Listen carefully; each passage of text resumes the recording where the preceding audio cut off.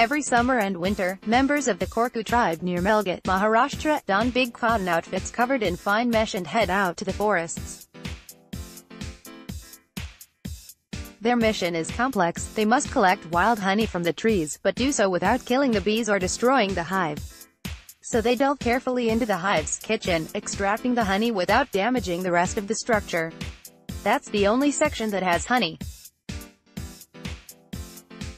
It is so unnecessary to break the entire hive, says Gajanan Kale, a conservationist who works with Korku tribals. This way, the bees can reuse the hive three times. Sometimes wild resources can indeed be harvested sustainably. But sometimes, they are not.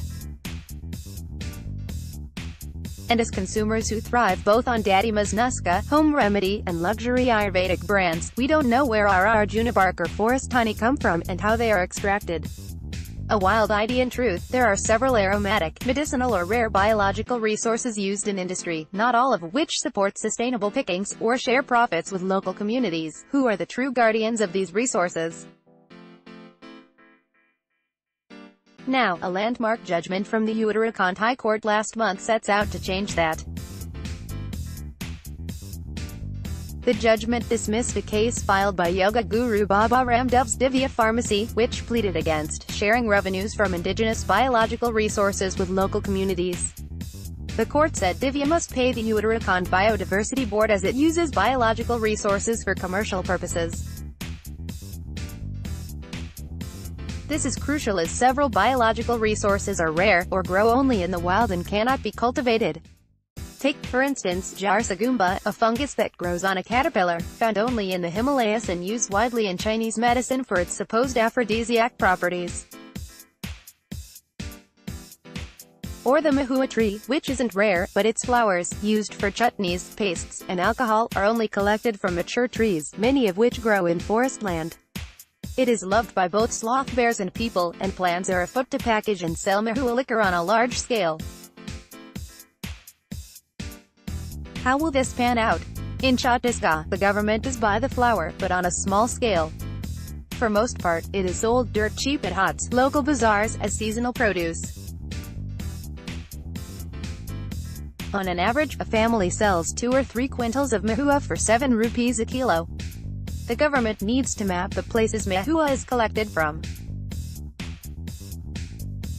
It should also provide facilities to dry it, and of course ensure greater benefit sharing with the collectors, says Anupam Sisodia, Chhattisgarh-based conservationist. The judgment makes a special mention of Yarsagumba, the local and the indigenous communities in Uttarakhand, who reside in the high Himalayas and are mainly tribals, are the traditional pickers of this biological resource. Through the ages, this knowledge is preserved and passed on to the next generation. The knowledge as to when and in which season to find the herb, its character, the distinct qualities, the smell, the color, are all part of this traditional knowledge. This knowledge may not strictly qualify as an intellectual property right of these communities but nevertheless is a property right, now recognized for the first time by the 2002 Act, India's Biological Diversity Act, as FEBS, Fair and Equitable Benefit. Sharing, Sharing Access and Benefits India's Biological Diversity Act, 2002 is in line with India's international commitments under the Convention on Biological Diversity, which call for both the sustainable use of biological resources, and also for access and benefit sharing. The judgment indeed upholds the spirit of the Biological Diversity Act, although the modalities have not been worked out and dues remain unpaid by companies and industrial units.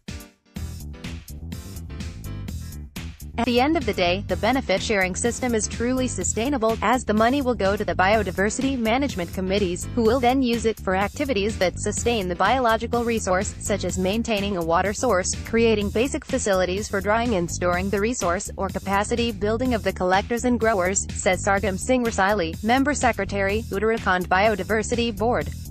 Under the Biodiversity Act, benefit sharing does not cover normally traded commodities such as wheat, rice and cotton. But it does cover other biological resources used commercially, and this should include Korku forest honey, especially as it is sustainably harvested. The judgment could indeed be a positive development for the Korku tribe. The rate for honey has been artificially brought down by middlemen who sell it to the companies. and many companies do not pay anything to the Biodiversity Board, says Kale. It is only fair that large pharmaceutical companies pay up a fee that is then plowed back to local or tribal communities. The writer is with the Bombay Natural History Society. Views expressed are personal.